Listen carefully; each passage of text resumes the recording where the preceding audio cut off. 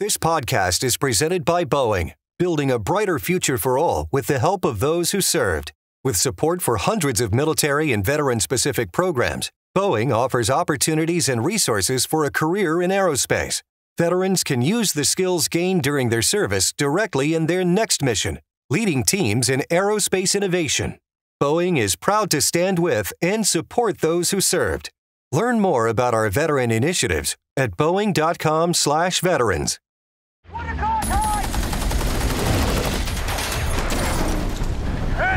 No! You? No.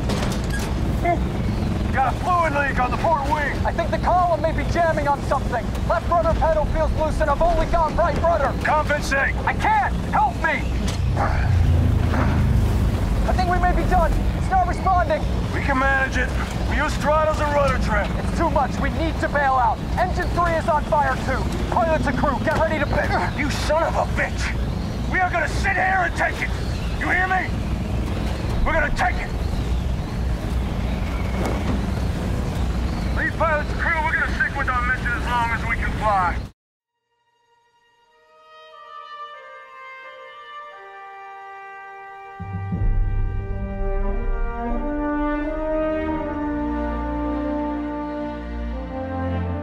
Welcome back to the Masters of the Air podcast from the National World War II Museum.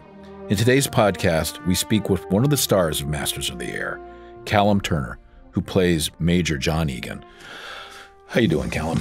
I'm good, Kirk. Nice to see you. Um, the the key to our whole series, as we've been talking about now from the beginning, the key to the series is the relationship between John Egan and Gale Cleven. Tell us about the relationship between you and Austin Butler.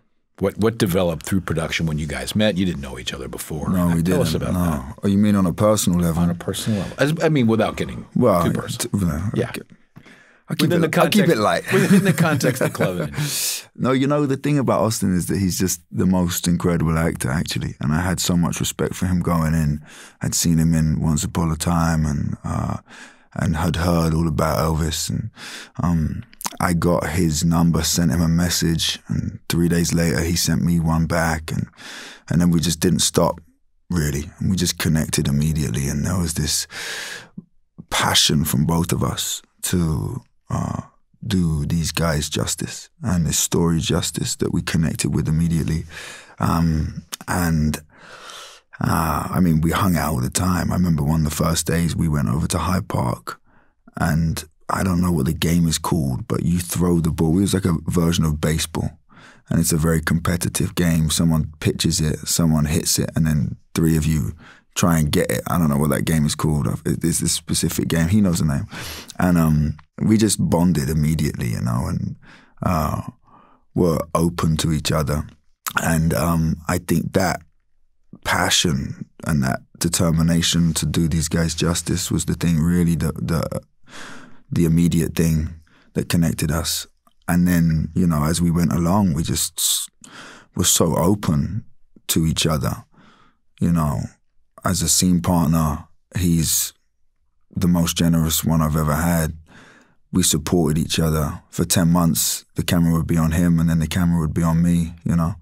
And, uh, and there were a lot of days when I just went in and I wanted to make him laugh because that was John Egan. Uh, uh, trying to get a smile out of him or trying to get a smile out of Cleven was always a, a fun game for me to be playing.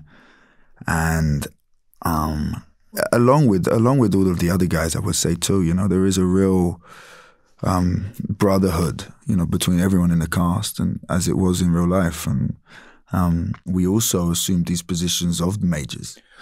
It's interesting what you said. Well, yes, we'll get into that now, the leadership, but one of the hallmarks of the series, and, and a lot of people comment on the authenticity and that, you know, costumes and production design and et cetera.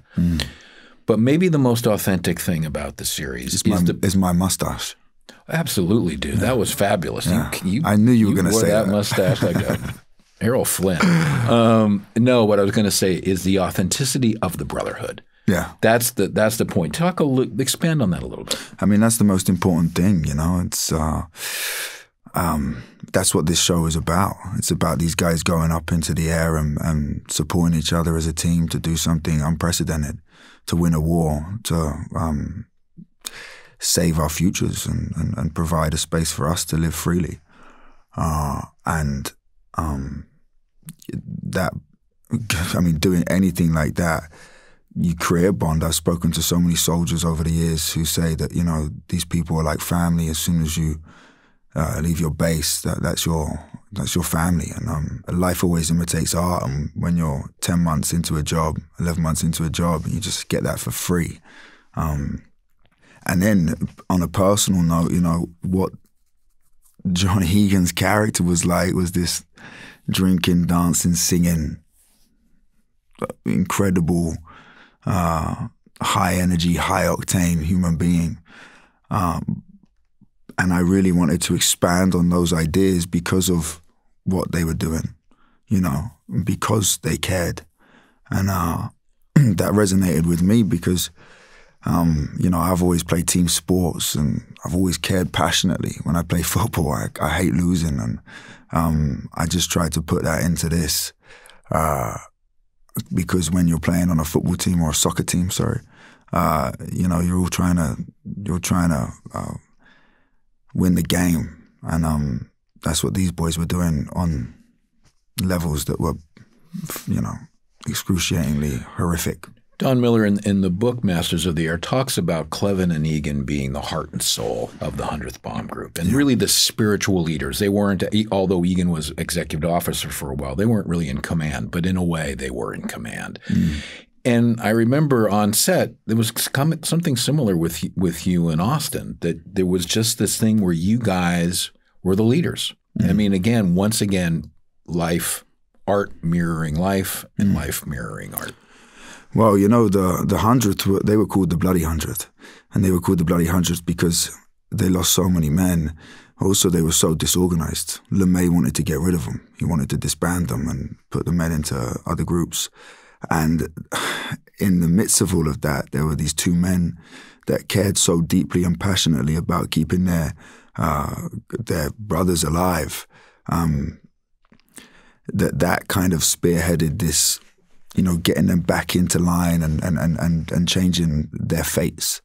And uh, yeah, life does imitate art, man. Austin and I were um, thirty and thirty-one when we when we did this, and we were probably the older ones out of all of the cast. Um, and, you know, when you have 18 year olds, 19 year olds, 20 year olds running around on a movie set for the first time, they don't understand what it's like. And I imagine that would have been the same in, in the camps. And, and there were moments definitely where, especially because it was in the middle of COVID, you know, there was a lot of pressure to not get COVID, actually. And uh, sometimes some of the boys would take risks or, or, or misbehave or um, uh, not show up and so we let them know that that wasn't what we were doing here.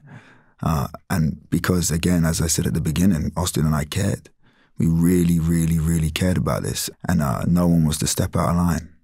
One of the things I've, uh, a lot of people have noticed about your performance is that, as you said, Egan was, he liked to drink and run around and he was, and make jokes. And he was a character out of Damon Runyon, which mm. we could talk about. But what's interesting is that's who Egan is on the ground yes. in the air. And that was very, I mean, I, to me, that's so obvious in your performance. Talk about that dichotomy between Egan on the ground and Egan in the air. You know, one of the earliest bits of research that I discovered was that they say whatever your personality is, it goes times 10. So if you're Egan, you drink more, you dance more, you sing more, you go out more, because that's how you find solace in the trauma. And if you're Cleven, you you go into your shell more because that's who he was, and he was a quiet man and thoughtful and pensive, and, uh, and so that was the thing that was was just a um, such an exciting contrast for me because it meant that I could go further than than I, I would have before to try and find that, and and ultimately what you're dealing with is grief. You're dealing with PTSD. You're dealing with losing people that you've seven hours before were friends with on the ground, you know, and you could see and you could feel. And I think that's what is so extraordinary about this show, you know, is that that's what we're watching the development of this PTSD in real time. And as the show goes on, you just get to see how, I mean, it's just the most traumatic thing in the world. Unprecedented warfare. 77% uh, of these men went down or were killed. And, um, you know, no, nowhere saw anything like it, you know, on the ground or in sea or even up until now. And, um, you know, that's what's, you know, to your point, is, is what's so interesting. You know, they come home they go into this extreme situation and then they come home. And how do you come home and have an, a normal life after that? I don't think you can, yeah. But they come home to the base and then they know they're going back up where they might die. It breaks my heart what these guys had to go through. It really does. And, uh, and I'm so grateful to them for that one of the, the themes of the, the series from the start was going to be to address, if not answer, the question how did they keep getting back in those planes? Mm-hmm. After all of this, Callum, what do you how how would you answer that? How did John Egan, Gale Cleven, uh, Harry Crosby, etc. How did they keep getting back in the after Regensburg? How do you get back into B seventeen? Um, I don't know. I, I don't know they did what they had to do. Egan and Cleven joined up before Pearl Harbor. So they had something inherent inside of their soul that decided that they were they were going to go and fight, and they were going to go and um, save the world. And, uh, you know, lots of people joined up after Pearl Harbor, but they had something inside of them. And um, you know, I, I don't know. I don't know how they would do that. What was interesting for me as an actor was I played this game with the plane, and uh, I'd always be the last person to get into the plane, and I'd build this friction between me and the plane, um, because I knew that there's no way that that's an easy thing to do. There's, you know, to get into that thing and go up, and it's just like a ticking time bomb. And if you come, you're playing Russian roulette every time you go up there, and uh, yeah, it's just an extraordinary achievement of of uh, of um, you know. Yeah, all you can do, all we can do, is try to hint at, and of course, every man had their own individual, whatever they had to do in whatever internal process, and this is what, what the obviously the actor brings to us. We can only infer how Crosby, how Rosie, how Egan got back into those plans. Mm. Did, was there any scene that you played that had a particular impact on you in any in in any episode? Mm, I mean, lots. Yeah. Yeah, I'll bet. Um, you know, there's episode four for me, just in its entirety, is is um, is is an interesting. It just develops in a really fascinating way because that's when Egan's starting to lose his mind, and up until that point, you know, like you said, they had to um, do what they had to do, and they had to lead, and um, this is just an unraveling of his of his mind and of his soul. The things that he's doing and how he's doing it is is is really starting to crumble his insides, and he's drinking a lot, and uh, and uh, he takes the pass to go to London to try and escape it, and then by being in London, it's it's it's it's even worse, you know. And I think I I guess to your other question about getting in the plane, it's because because they had an enemy. Mm because well, they, they, were fighting enemy. against someone and they had to they had to save they saved the world.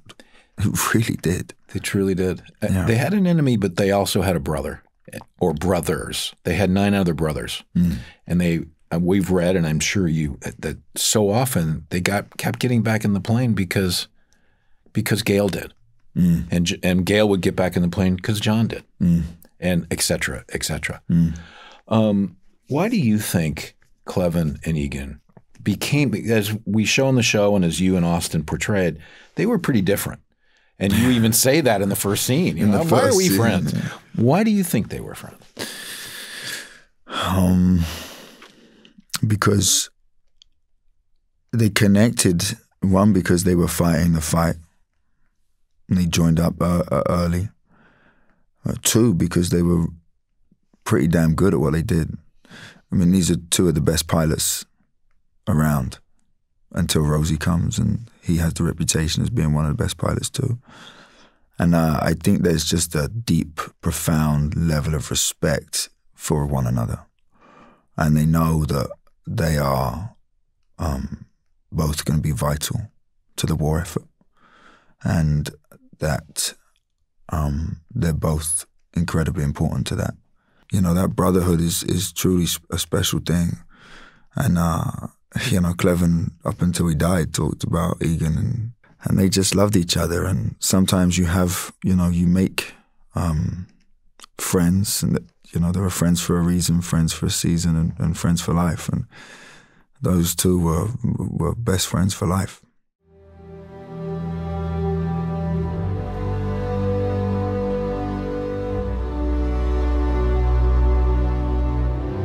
Welcome back, my good friend Don Miller. Good to uh, see and talk to you again. It is, Kirk. So Is we rolling? we uh, streamed or episode three, the Regensburg mission episode, and Regensburg Schweinfurt mission. I want you to tell us a little bit about that. That was pretty complex strategically and tactically.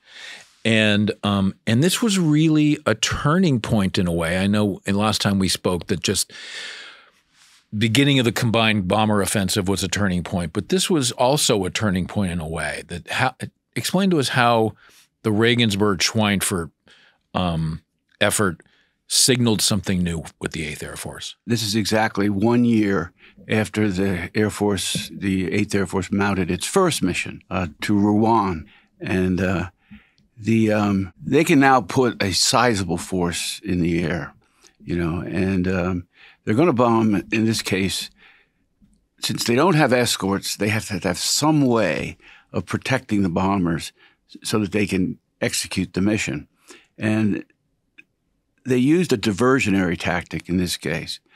Um, two bomb groups, two, two bomb divisions were going to fly. One division would fly, this is Curtis LeMay's division, which included the 100th. They will fly to uh, a city, first of all, deep inside Germany. This is the deepest penetration mission the 8th has undertaken in the war. Okay? And uh, they're also going to hit a, um, it's almost a fetish at the time, uh, ball bearings. Uh, nothing can run industrial, industrially without ball bearings. This is their target of the moment. We will be in the first task force, targeting the Messerschmitt 109 engine assembly plant in Regensburg. Second and third task forces will hit the ball bearing factories in Schweinfurt. And no war machine moves without ball bearings. If we succeed, we knock German production offline for months. There's no telling how many lives we could save. The ball bearing factories were in a town close to Regensburg called Schweinfurt. Uh, and that's going to be the, major target. The Regensburg mission is, is an aircraft production facility that included the production of uh, some uh, embryonic uh, German jets. Uh, they didn't know that at the time. So it's, it's, it's, it's a dual mission. And it's very complex. Uh, they start to use also, this is a breakthrough, they start to use group navigators. They found, uh, LeMay found that rather than training every bombardier and every navigator, he would have a group bombardier and a group navigator. And in, he, he would take, that would be, they would be in the lead plane. And the bombers that followed would have not bombardiers, but toggliers, they were called. And they simply bombed um, on a signal from the lead bombers. As soon as the lead bombers dropped smoke bombs and then real bombs, they would hit the switch and drop their bombs. The idea being that these guys could be highly trained and there's a more, and the bombing will be more accurate than it's been. So it's going to be more massive and more accurate. So we feel that we're now entering a new phase of the, of the bomber war where we can start taking out uh, the industrial infrastructure that supports the German war economy and uh, allows the invasion to take place if you can curtail fighter production. The day they're to take off, it's it's misty. Um, there's a lot of cloud cover over the bases in England, and um, they were um, the first the first bombers in were going to be LeMay's bombers, and they were going to draw the Luftwaffe to them.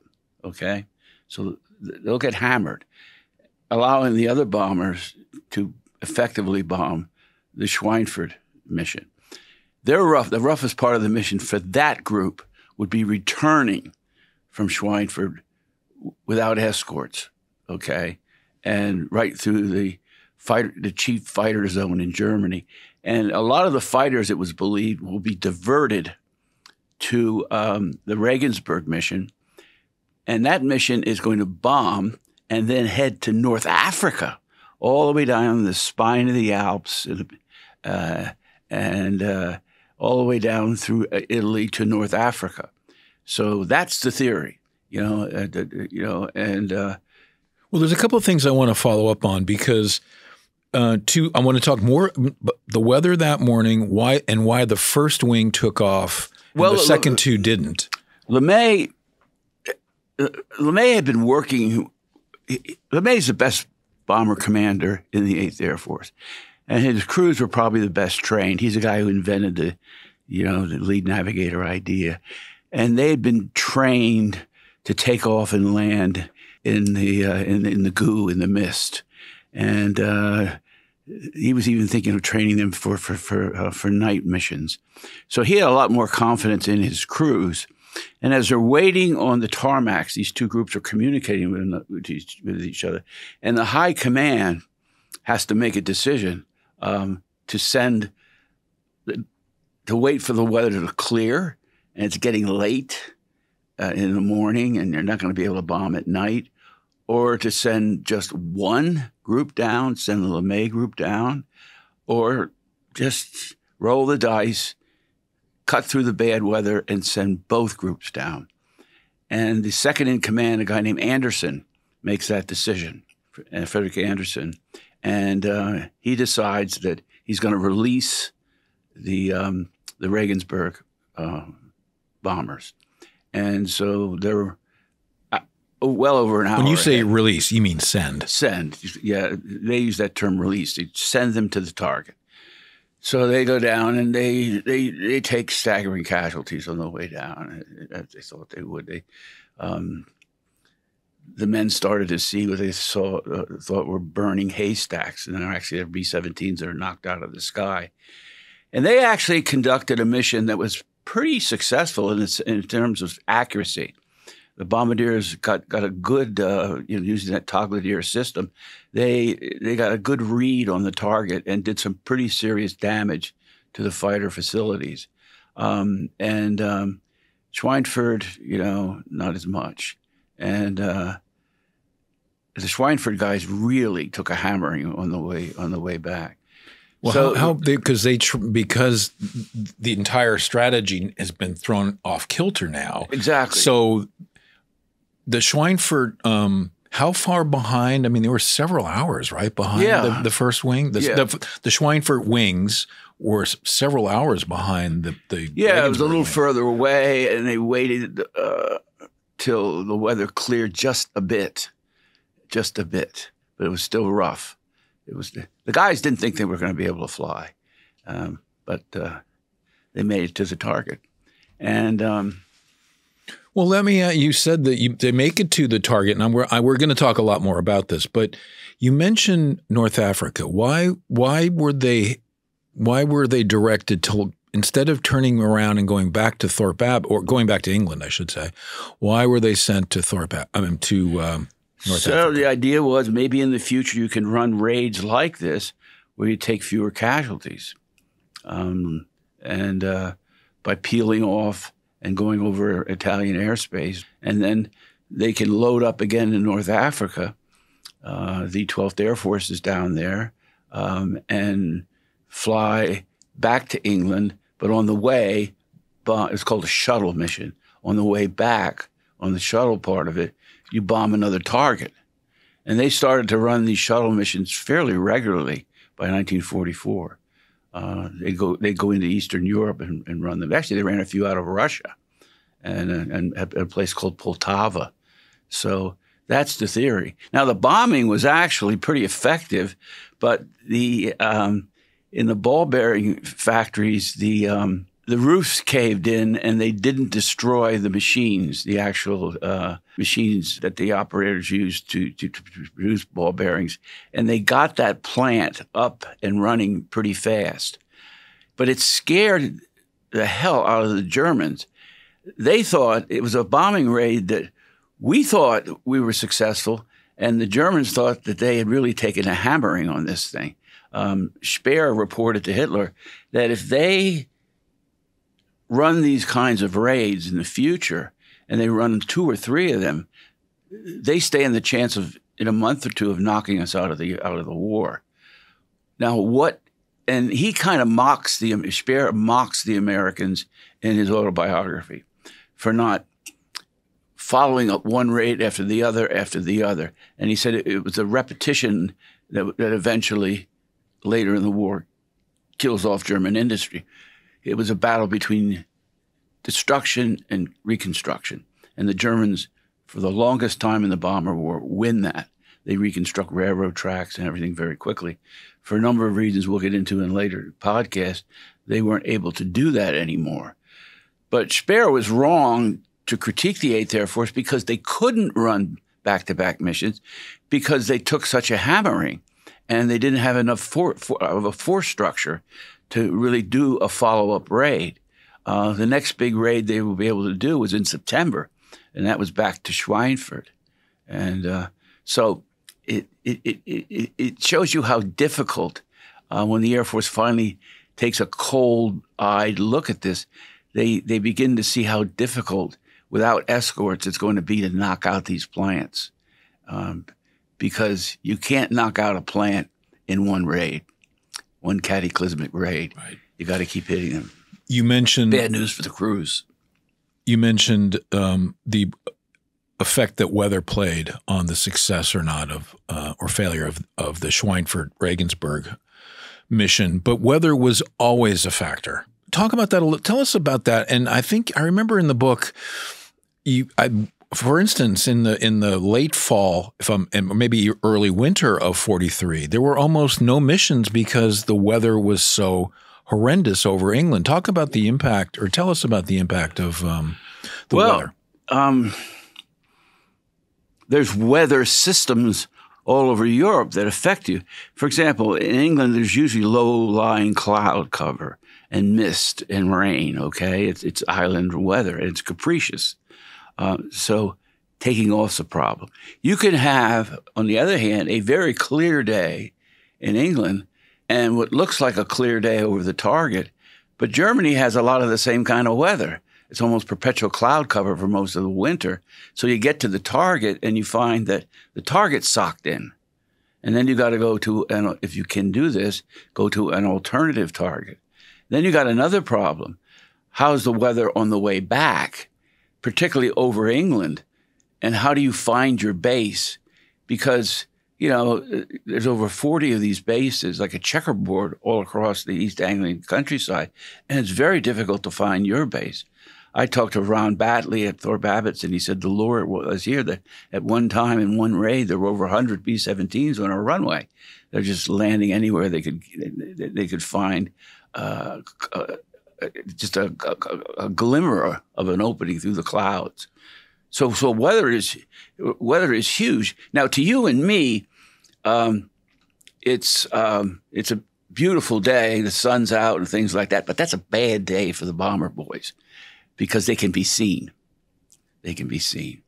Uh, they preferred to bomb through through cloud cover, and they developed instruments that allowed them, they thought, to bomb more accurately than you would think uh, through cloud cover. The airmen had an interesting word for it.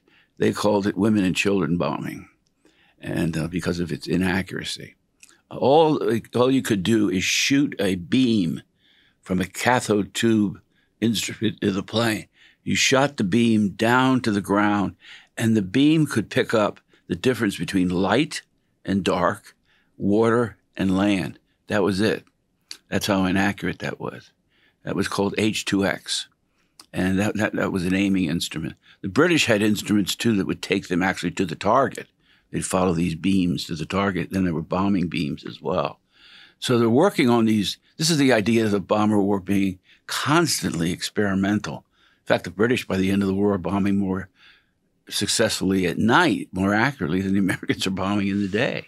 One of the thing, the other one of the other problems that weather posed is just literally taking off. I know in our um, first episode that we saw last week, um, the, on the first mission, that first mission to Bremen, Yeah. Cleven almost runs into another plane. Talk that. Tell us about how that worked. I Well, mean, you, you- tell us how well, what well, they. The cloud cover is so thick.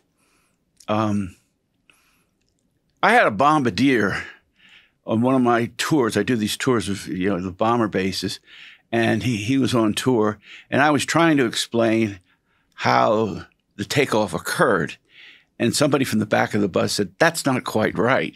And I go, well, who, who the hell is this? Well, he flew 34 missions as a bomb, you know, and he explained exactly how it was done.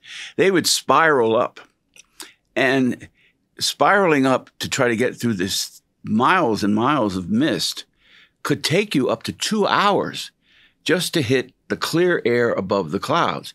And you popped out of the clouds like a trout popping out of a stream. You know, there it is all of a sudden, you know.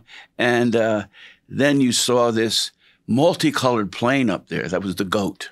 It's going to take you to the target. And you assembled around that multicolored plane into groups. And the assembly took place for hours. And a lot of planes, if, if, if, especially on from takeoff to the point where you pop out of the clouds, yeah, it takes two hours, but you're flying blind. You can't see anything. All you can hear, all you can do is listen to the engines of the planes behind you. And an awful lot of bombers crashed into one another taking off. Yeah, you never think of it's it was dangerous even just trying to form up, just getting in the air. They, they lost over 10,000 guys to accidents in England, and training accidents. They were training all the time and uh, trying to get this down, you know. Um, they had a beam, uh, Splasher 6, it was called. It was still, the, it was the newspaper of the 100th Bomb Group. And it was a radar beam, and they'd f- try to fly around Splasher 6 and stay on that beam and guide them, guide them up into the sky.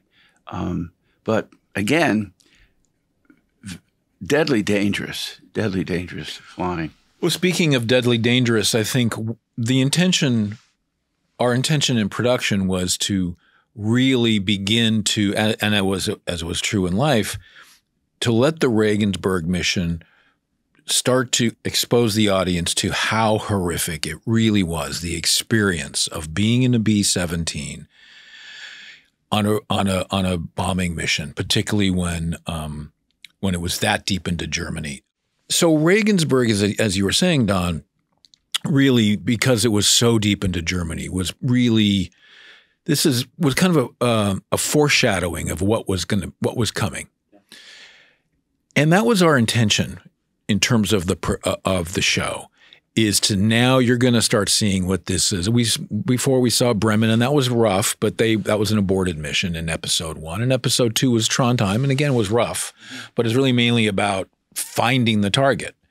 Now in with the Regensburg episode, this is about the experience. This was about what it is, what it was, I should say, to be on a B 17, to be in any of those positions where you're helpless, as you had said previously, and yet you still have to follow your mission. How No horrendous. Yeah, how horrendous. Give us in that Don Miller manner, tell us what it was like to be in a uh, B 17. Well, you know, the, the plane's shaking like hell, for one thing, you know, and uh, it smells inside oil, piss, you name it, you know, sweat. And uh, the, um, and then you all of a sudden, the you reach Hanover, Germany, which is on the German border with Belgium.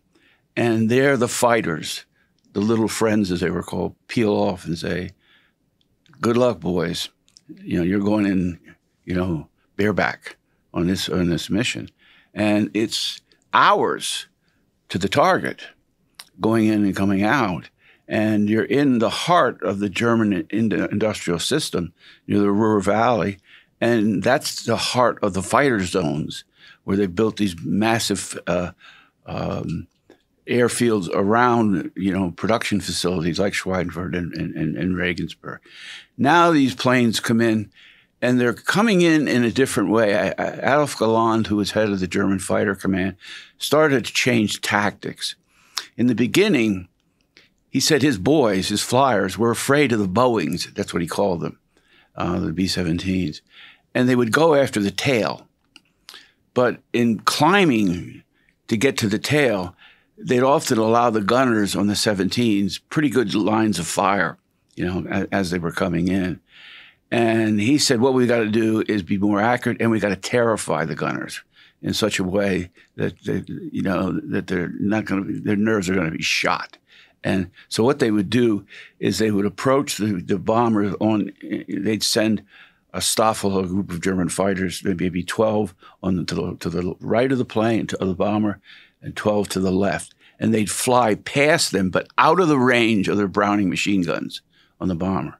So they're no danger of getting hit, but they're out there. It's like they're waving at them. Here we are. Then they go way out, like five miles, and they loop back and the closing speeds are tremendous. Uh, the uh, B 17 might be flying at 240 miles an hour, and the German planes are flying almost at 400 miles an hour. That's a closing speed of jet, you know? And um, so if you're sitting in a room and you see a fly on the wall, okay, and uh, or a bug, and you, and you clap three times, he's there. He's on you. And that's how much time you had to prepare to aim and to hit.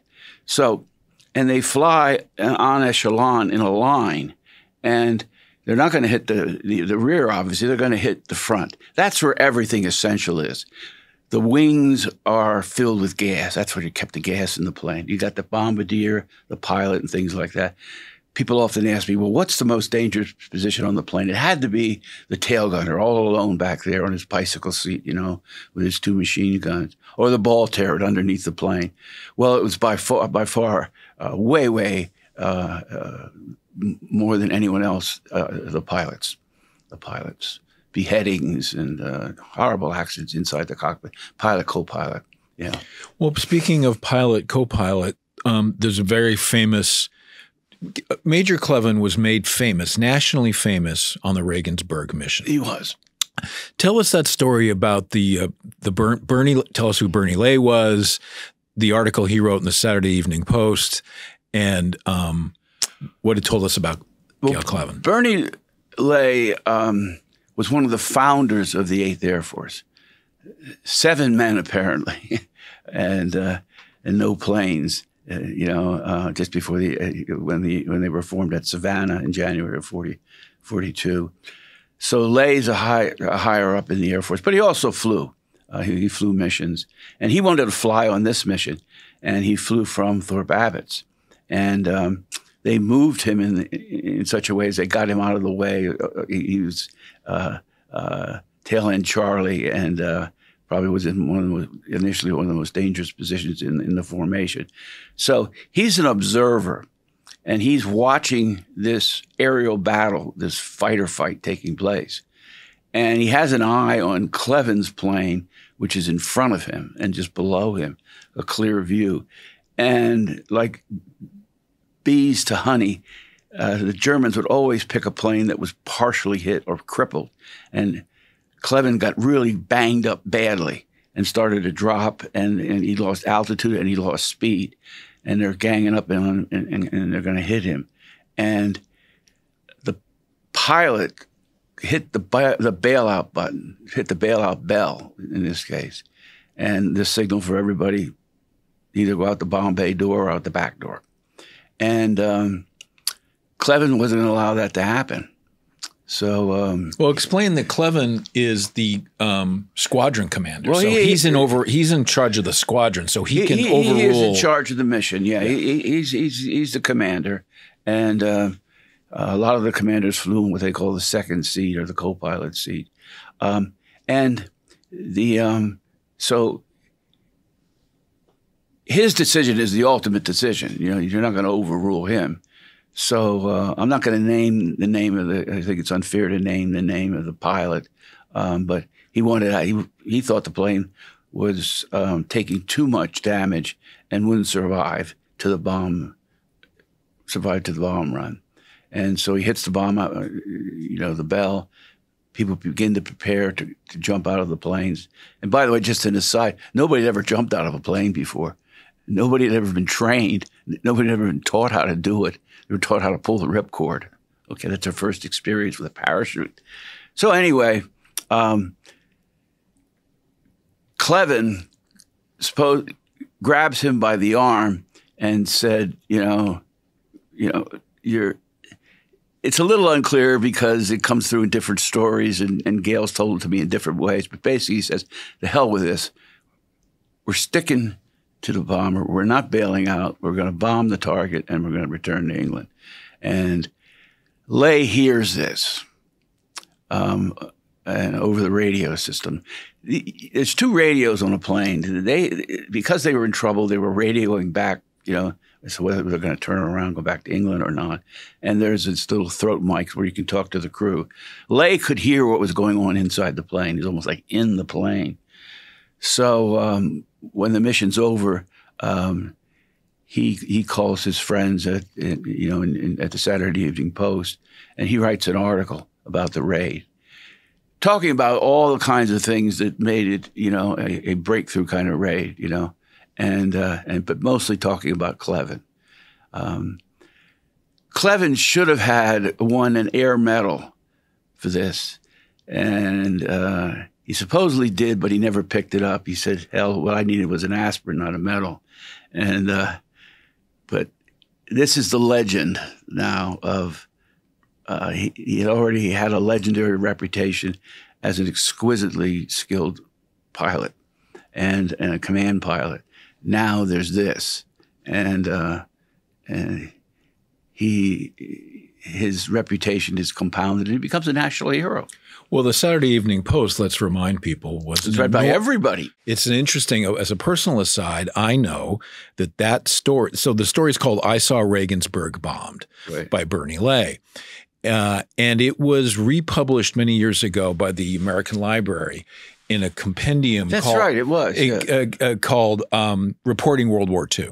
I know that that story, when Tom Hanks read that story, that's the initial story that got him interested in portraying the war in the air. Now, this was many years ago. It was I think it was between Band of Brothers and the Pacific, but it was that story that told Tom that there is something really dramatic here, and it isn't a push button war.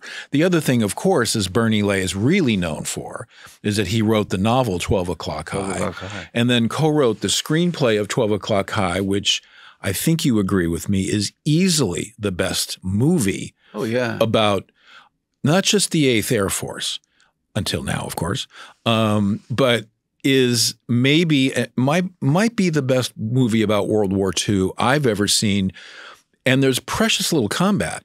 Very little. It, in fact, most of the combat footage, if not all of it, was actually stock War Department footage. It was such a great movie starring Gregory Peck, who just defined the role um, of of Colonel Armstrong. That um, or Savage, I'm sorry, his name, the character name was Frank Savage. It was based on Armstrong the psychological turmoil that these yeah. men were in. It, it is almost very little f- physical combat. It's all the psychological and emotional combat the men had with themselves. Well, there's stories about guys that did get back in the plane after a horrendous raid and cracked again immediately. Um, I interviewed a guy named Sherman Small at the uh, Savannah Museum, the 8th Air Force Museum, and it was a riveting interview. And uh, he was in the tail uh, of the 17, and the Germans had a practice later in the war of uh, uh, flying kamikaze missions where they would crash into the American bombers.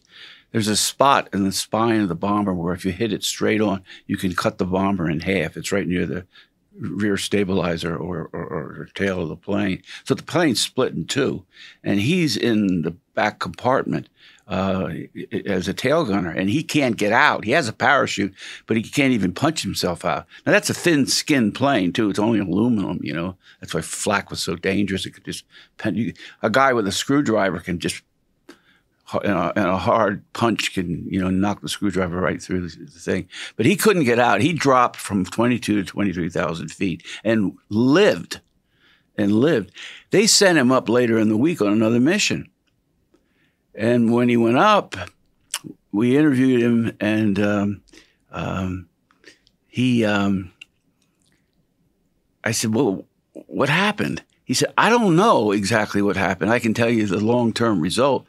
He said, I, as soon as we got over uh, Holland, he said, I felt the tail kind of swaying, you know, and I thought it was going to break off. And that's the last thing I remember. For a year and a half, he was taken off the plane like a frozen Wisconsin log, put into the base hospital. They couldn't handle it there. They gave him sodium pentothal, sodium amytal, blah, blah, blah, and they sent him to the major hospital at Oxford. Um, they couldn't handle him there. They shipped him back to Don Carlos Hospital in Florida, and he was in a coma for that long a period of time, and uh, recovered and became a very successful businessman and a whole human being again. But can you imagine um, experiencing that and and then being asked to do it again? And then we talk about support systems and how important it was to have other crewmen in an earlier episode. But let me make this point. One place the guys would go for solace uh, because they're traumatized by this, uh, the idea of flying. And um, they could go to their priest or their minister on base. Um, there wasn't there weren't Jewish rabbis. Um, the or they could go to the um, to the local combat surgeon, you know, Rusty Stover, you know, and uh, and we'll talk about bear that. witness to what, what what was going on. Yeah. You say combat surgeon, but in the book, and I think again, it's it's it's so Tell us about the the combat surgeon because he played many roles. He wasn't yeah. a, the surgeon. That's a misleading uh, title in a, in a way. Well, first of all, he wasn't a real surgeon. Uh, most of these guys were not physicians. Okay, they were like nurses assistants today. Uh, they had plenty of psychiatrists in England, but generally these guys only flew for observation and things like that. If they have a plethora of breakdowns and things like that, but he handles at the base hospital what they would what we would call maybe a, a light wound, maybe a frostbite, something like that. It just what they would do is they'd wait for the Russian cure to, to set in, and that was the the fingers would turn um, black and then purple, and they'd fall off, and then you could start to work with it, you know. And uh, they could handle things like that, uh, but they also had to handle, and this comes through in Twelve O'clock High. They had to handle psychiatric cases, now, the commander, his job, the base commander, who's in charge of the whole operation, um, he's under pressure to get results. He can't keep losing guys to combat fatigue or get a reputation as a base where guys break down. So there's a lot of de emphasis in Air Force records, uh, cleansing of the records, actually. Um, and uh, so we'll never really know how many guys actually broke down. The numbers are around 2,200, but I would say it's more like 8,000. But the his job was uh, really tricky uh, in that the guys confided in him, and um, and yet, and I've talked to combat surgeons and and chaplains as well, and uh, they say, well, our job was to settle the guy down, get him thinking right again, get him in a condition where he's able to fly again and experience the same conditions that got him here in the first place. So. Well, it's interesting. we, you and I have talked about. There's another Gregory Peck movie called Captain Newman, M.D. Yes, which is a wonderful movie. It's not quite of the caliber of Twelve O'clock High, but it's about uh, Air Force Hospital stateside, I believe, in Arizona, and that Gregory Peck character in this movie does just that, only he is a real psychiatrist. Mm-hmm. And they make the point, and there's a particular storyline where he meets a young man who was a gunner on a B 17 and went through a traumatic experience. He's sent stateside to, um, to be cured, and he is cured, only, of course, to be sent back into combat and we won't tell I won't tell you what happens, but you can imagine. And the dilemma that poses to the Gregory Peck character why why do I make why do I help cure them if I'm just going to send them back to what made them sick in the first place? So that the dilemma that a in this case a psychiatrist, but the flight surgeons had as you're describing. Some of the flight surgeons toward the end of the war admit to Air Force High Command that the only words that'll truly settle a guy down are you don't have to fly again ever. And you're on the way to recovery. but um, uh, is there any particular, we purposefully set most of episode three in the air. You're with you're with the men in those B-17s for the majority of the episode. Anything, any sequence uh, stick out to you that? Uh, for- well, again, I mean, how much men have to, the crewmen have to depend on other crewmen for everything. The uh, there you really see, uh, for want of a better term, the companionship and t- teamwork that's absolutely essential to run a to run a mission. You know, you had to be able to count on everybody, and what made it really difficult. Um, we don't do a have a big deal about this, but what made it really difficult for a lot of crews was when um, a guy would get on the plane. Maybe he's his, this is his 24th mission, and he's really sick. And he's sick to the point where he's a non functioning person on the plane. You know, he's a cipher. And uh, do you allow him on and so he can complete his missions and go home, endangering the other nine guys uh, by protecting him? Uh, or do you say to him, no, Joey, you know, you got to get yourself fixed up because you're you're part of a team here, and we need ten, not nine. Uh, so the crews had to make that decision. What's interesting in episode three, as we showed, uh, Major Egan was actually not assigned, but somehow I'm not sure it's clear exactly how he got himself assigned to that mission, and we show him, and this did happen. Um, he went down into the nose and was part joined the the bombardier and the Yeah, navigator, Yeah. and was uh, acting as a gunner. Uh, And as we show, I think accurately, all the guys are mystified by that. His friends, how'd you, how'd you get on here as a passenger? You know, but you And- could pull and- rank like that at a small base. And and and and, and, and hundreds was a pretty loosely run operation. You know, uh, why do you think he did that, though? In other words, this is one he could have avoided. By this point, he's a squadron commander. He didn't have to go up. In fact, it was he wasn't supposed to because that put four squadron commanders on one mission, and that was yeah. verboten. Yeah, was but verboten. he did it anyway. Why? Why do you think? I have absolutely no idea, and uh, what what he's thinking, and uh, by taking that uh, by taking that risk, yeah. Well, I mean, I wonder because again, he used to refer to he he obviously knew that this was going to be a very difficult, the most dangerous mission to date, and he always, as you said in the previous podcast about him writing the letters to uh, to the families of the of the men who were missing, um, and he referred to he, he referred to them as my boys. I- I know Cleven in episode two, he, and I, he did say this. Um, you know, how, he and Egan are talking like, how are we going to do this? When they realized how dangerous daylight bombing was, and Egan says something to the effect, "How are we going to do this?" And Cleven said, um, "We lead our we lead our men, we lead our boys through it." And that was that was their ethos. We have to. They've been together since 1940, and they've been the spiritual, if not the actual leader of the hundredth from the beginning. And I think they took that leadership role so seriously. And I, I think, and you tell me what you think. I think that's uh, Don. That was part of the the the, the magnet between the I Cleven so. and Egan. They recognized within each other the lead, the the great leader that the other was, and not just for themselves, but leading.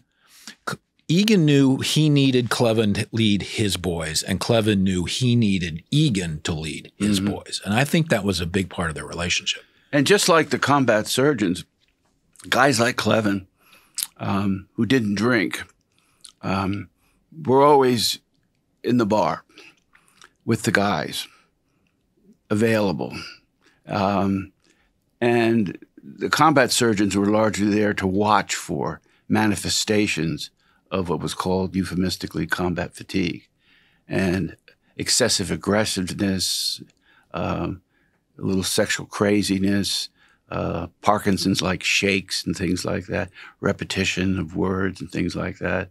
Because the Air Force ha- to break down in combat in the Air Force, you manifested different symptoms than combat troops did on the ground. An infantryman, for example, could start to show some some symptoms, but generally, it was a result of long-term stress and the longevity of combat. They they had it mapped out to such an extent. They said an army truck, you could get about fifty thousand miles on an army truck, and you could get about 130 days of steady combat, and the guy is done. I don't care what kind of what, is a, a John Wayne type character, an American Western, or or whatever, just a scared PFC. Um, he he will he will be ineffective, and eventually he will break. It happens to everybody. Um, Churchill, uh, Churchill's surgeon, uh, Lord Moran, uh, served in World War One as a combat um, surgeon, and uh, he wrote a book uh, called The Anatomy of Courage. Uh, I have a chapter of that title. I was very taken with the book. And he said, What is courage? That's the first question you have to ask. He said, You, you have it, but if you have it, it's not there all the time. But uh, usually you bank it. And when you, the problem with courage is you have a bank account, but the, the minute you use it, you lose it and you're not You likely to be courageous again. You only have so much, and then you can't take it anymore. And he said, and that's true of combat as well. You can be an Audie Murphy on the line, you know, and, and just a screaming banshee of a killer, and yeah, um, it's. Uh, John Hersey wrote a great novel on that called The War Lover. It wasn't much of a movie, Steve McQueen movie, but it's the best. I I think it's better than Twelve O'clock High, and uh, as, as a novel on the Eighth Air Force. As a novel, but not a movie. No, terrible movie, terrible movie. No, but let's continue the point. And is that that idea that courage? You have this bank account. Yeah. You have only so much courage in your bank account, and every time you make a withdrawal, you have that much less. Yeah. And there's no such thing as an unlimited bank account. Don, we're going to wrap it up there for this week. We are three episodes in. We have several more to go. Don, again, thank you so much for your insight, for your knowledge. Oh, your- thank you, your, Kirk. Your your the book and everything. And we will see everybody next week after episode four. Fantastic.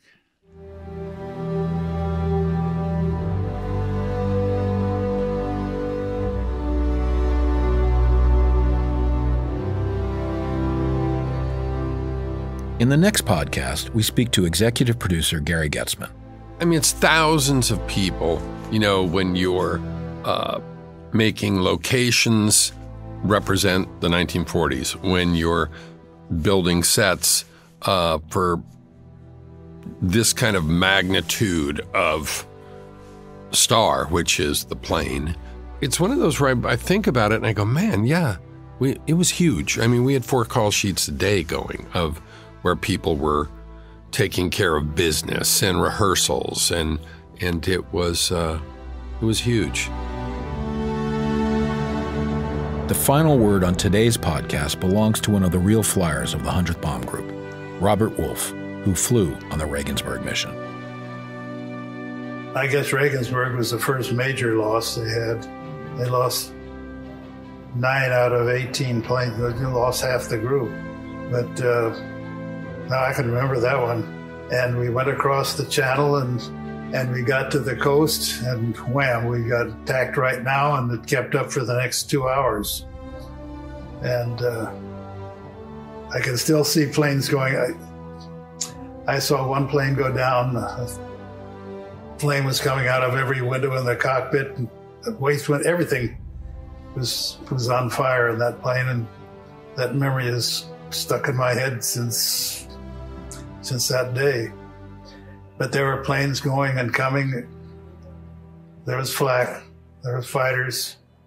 More flak, more fighters. They would alternate.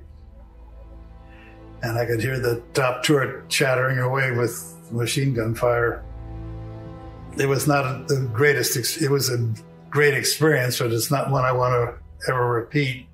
I mean, we had similar things later on, but that one really scared the wits out of me. I knew what combat was like, yeah.